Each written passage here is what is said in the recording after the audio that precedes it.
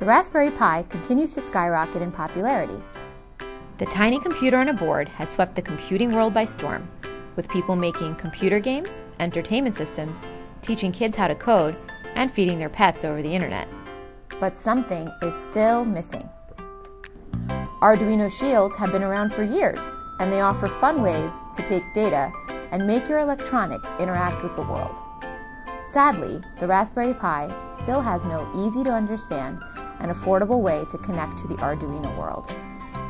Our dream is that the ArduBerry will bring the Arduino and the Raspberry Pi together, making Arduino Shields easily accessible from the Raspberry Pi. Enter the ArduBerry. The ArduBerry is a shield that slides over the Raspberry Pi.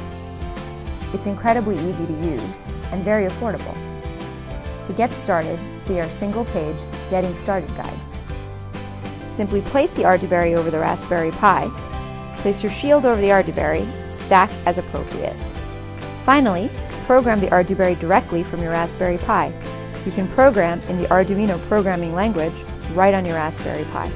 The Raspberry Pi programs can communicate with the ArduBerry and the Arduino shields using C and Python. You can configure the Raspberry Pi to communicate to the shield directly, or using the Arduino microcontroller located on the ArduBerry.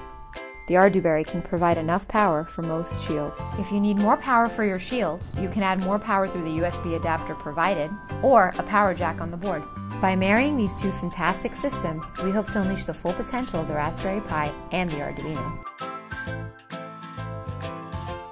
By backing our project, you'll help us bring the Raspberry Pi and the Arduino, two of the greatest tinkering systems ever invented, together at last.